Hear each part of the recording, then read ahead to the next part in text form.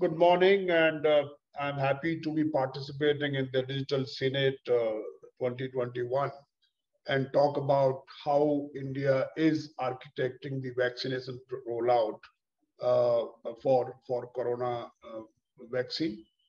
Uh, let me first share with you as to uh, how this program has gone so far and why this, this kind of techni- technology architecture was necessary. So one is that the Prime Minister, as you know, uh, our Prime Minister launched this program on 16th of January, uh, 2021. And the first uh, people who, first recipients of the vaccine were the health workers, both in the private sector as also in the public sector. Thereafter, we targeted uh, somewhere the from the first week of February 2021 the frontline workers also. So various kinds of workers who were actually uh, you know doing the service or or who were active during the corona period uh, without you know caring for their own life they actually were serving the society at large. And therefore we owe uh, them this duty that we kind of protect them uh, at the first instance. So these two groups were actually the ones who were receiving the vaccine for the first time, you know, in the first phase. Thereafter, from 1st of March, uh, we have uh, opened up uh, the, the vaccine program for all people who are above 60 years of age and also uh, those who are between 45 to 60 but have certain comorbidities. Uh, the comorbidities have been decided or defined by a team of experts under the leadership of, of the director of AIIMS, Dr. Guleria. So uh, this is when we have started. We have also made certain interesting changes. One of the changes is that uh, till 1st of March, we were doing the vaccination program using only the government facilities and hospitals and the state government.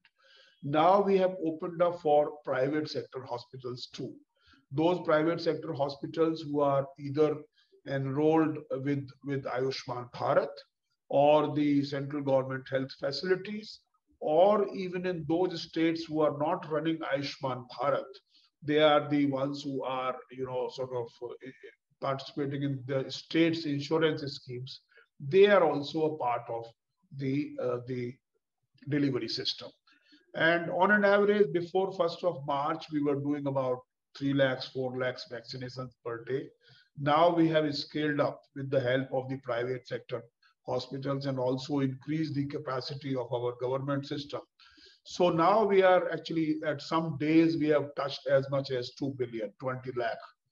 Uh, one might, you know, sort of say why this is uh, so, uh, so such a high number and why this is required. Uh, now, the considering the population of our country, uh, imagine that this program is going to be, you know, sort of for the benefit of one sixth of humanity. We are 1.3 billion. And if we want to break the chain of uh, infection, then we have to uh, ensure that we are able to uh, inoculate, vaccinate uh, uh, our people as early as possible. also, the fact that India is the vaccine capital of the world, and actually we have a huge capacity of vaccine manufacturing. We are also exporting and helping other countries uh, in the meanwhile. So I think that's that's where the scale becomes very important. The speed becomes very important. Now the next question arises as to why uh, the technology is necessary to ensure this. Uh, there are uh, many reasons for that. One is that it is only through technology that we can, you know, kind of make it possible for such a large number of people to get vaccinated. Otherwise, uh, if we don't use, let's say, information systems to inform them, to essentially they can register, they can actually get reservations and appointments, uh, the whole thing will become very chaotic.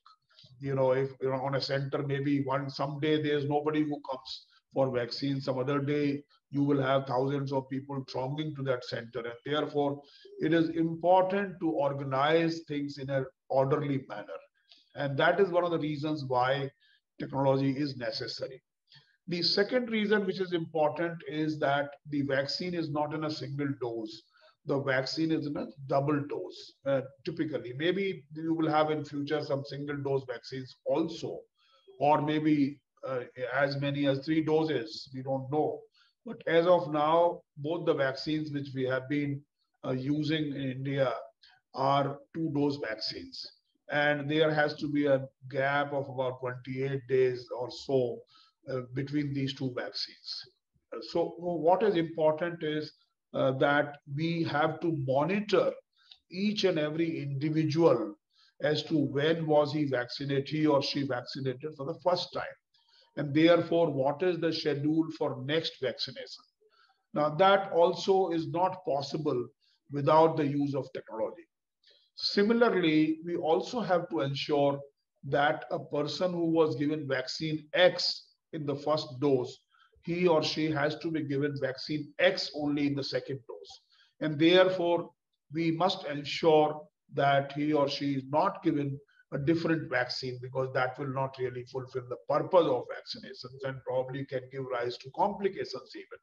So therefore, again, it is necessary that we monitor each and every individual's vaccination, uh, you know, sort of thing as to when was he vaccinated, when was he vaccinated, where was he vaccinated, and what uh, vaccine was he vaccinated with. Lastly, it's also important to collect the uh, adverse impact of, of vaccination if and as and when they take place. So, so as you know, after vaccination, people are asked to wait for 30 minutes to be there and you know they can they can uh, they wait there and then if there is any adverse impact there are any adverse symptoms those symptoms are taken care of by the hospital concerned, but they are also reported back to the system. That way, we will be able to correct, collect data to see as to which vaccine is typically causing what kind of adverse impacts and you know what is the frequency and stuff like that. And what are the symptoms of these adverse impacts. So I think for that also you need technology. So essentially what is required is that for having a vaccine done in an orderly manner at such a scale and with such a speed where you are doing 2 million vaccinations per, per day, it is important that we have to have complete record of vaccination. Another thing is because there is a huge gap in demand and supply, and we have begun with what we call the priority groups. So, for example, now we are having senior citizens and people with comorbidity more than 45 years of age, it is important that we cover only those people. It should not happen that in the name of those people, somebody else takes the vaccine and therefore, you know, deprives the real genuine beneficiaries of their rights. So therefore, identification of beneficiaries is also necessary. And identification will involve obviously identity document. Either it is Aadhaar, which is actually can provide a digital uh, identification without any paper, a paperless identification, uh, or or other papers which have got your photographs, your uh, you know uh, uh date of birth, and your gender.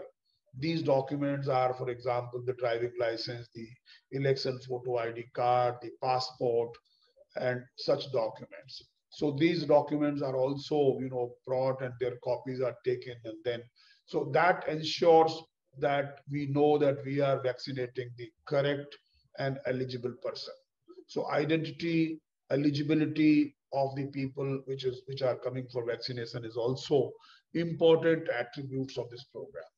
So considering all these factors, this could not have been done uh, without uh, a technology backbone for, for, for this whole program. And that technology backbone obviously has to be scalable uh, to the numbers, you know, 1.3 billion. It has to ensure that after each vaccination, we have also decided that after each vaccination, we shall issue a certificate of vaccination to the person concerned. And after first vaccination, it will be a provisional certificate. And after second vaccination, it will be a final certificate. Now, that certificate, you may ask, why is it necessary?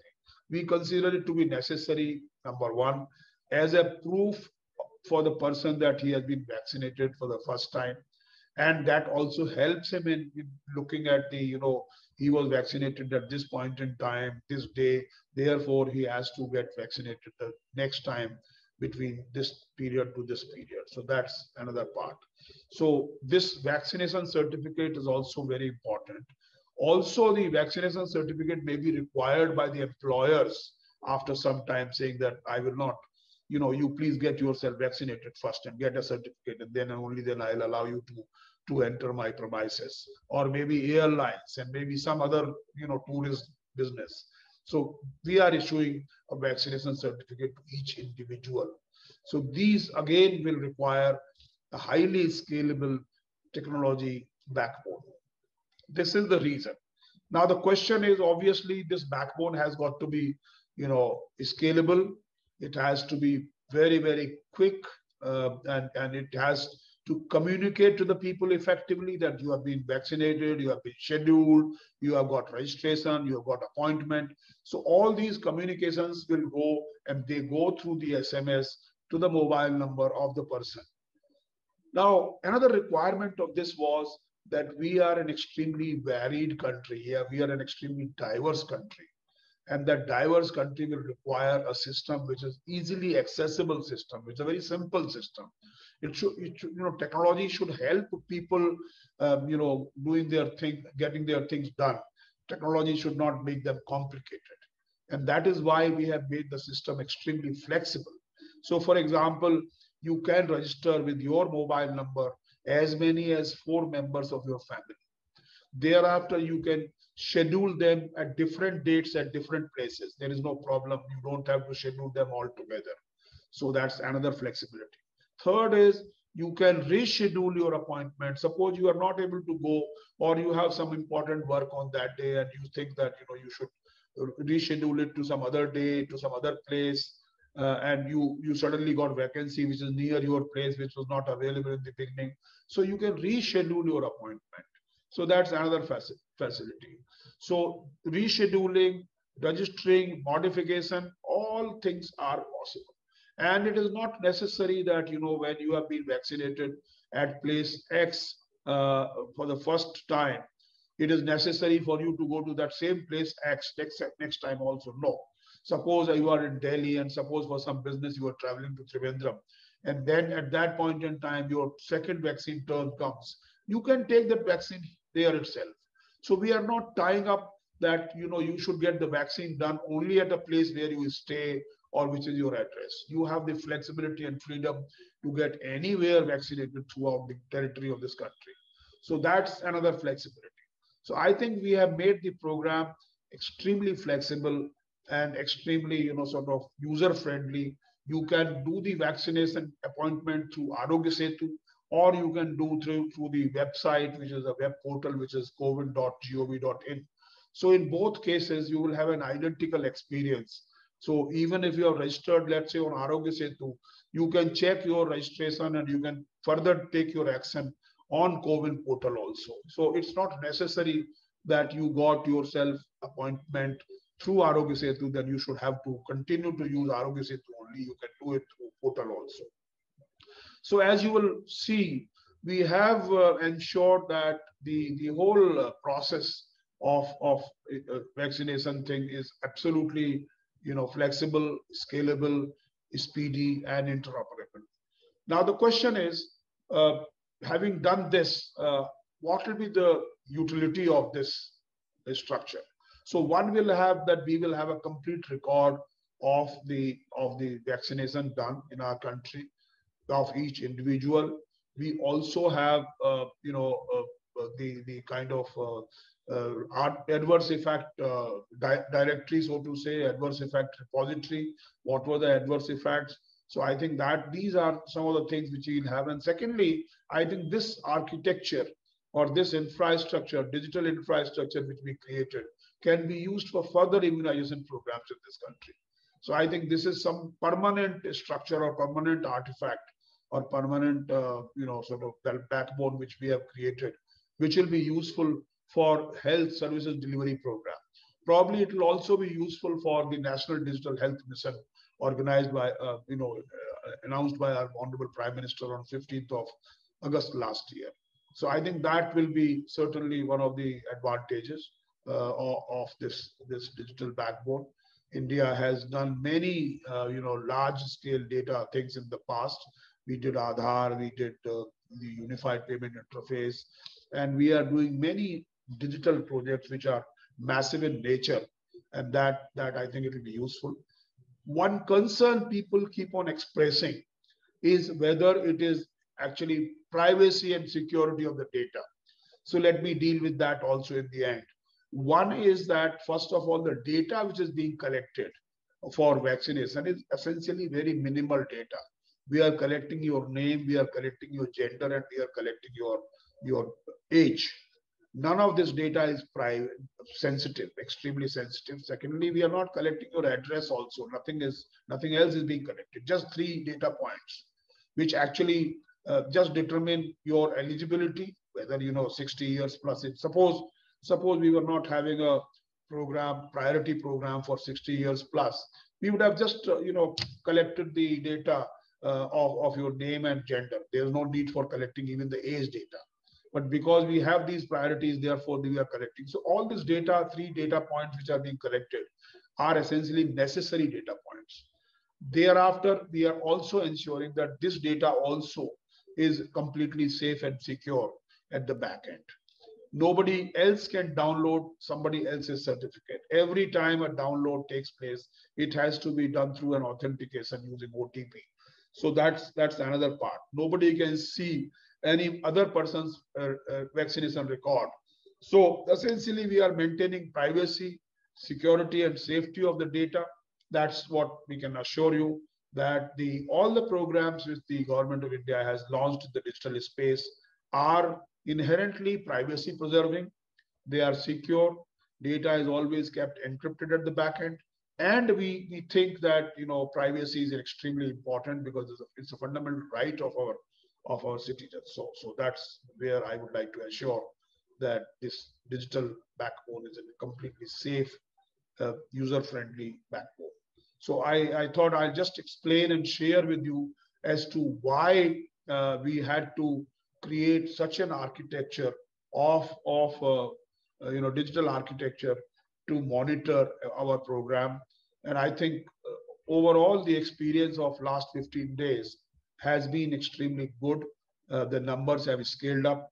We are very sure that we will further scale up these numbers uh, in near future so that we are able to cover our population, our target groups, our uh, you know vulnerable uh, population as early as possible. Thank you very much for inviting me to this conference. Thank you.